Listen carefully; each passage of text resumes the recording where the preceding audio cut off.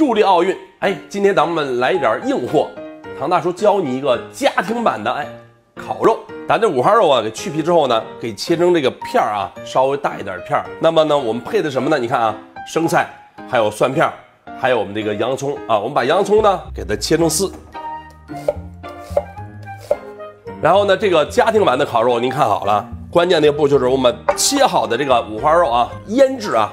这样我们放入料酒、生抽，来一点老抽、白胡椒粉。白糖少许，蚝油。哎，来这么一勺，香油适量，把这个切好的刚才的洋葱啊也放进来，然后呢给抓匀。您看啊，颜色呢就是比较红润啊，这样我们腌个啊五六分钟就可以了。咱在家呢做这个家庭版的烤肉啊，家里有不粘锅当然最好啊。然后这要不就平锅也好。那么烧热之后呢，哎，我们少放一点油啊，不要多。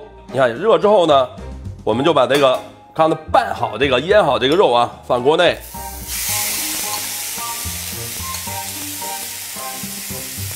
慢慢的啊去拨动它啊，但是先不要给它翻个儿啊，让它一面去成熟。看这表面的肉啊，大家看都已经变色了啊，然后呢，我们再给它。哎，搅拌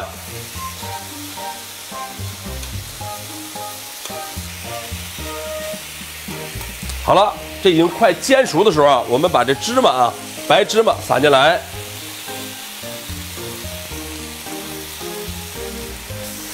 把它搅拌均匀。这个干香啊，啊，焦香的味道就扑鼻而来啊。这时候呢，已经熟透了。那么我们放什么呢？哎，把这火可以关了啊，放这个辣椒和孜然兑成的这个烧烤料啊。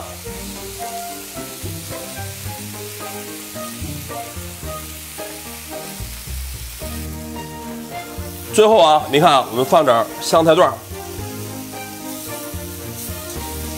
哎，你看这个家庭版的烤肉啊，咱就做好了。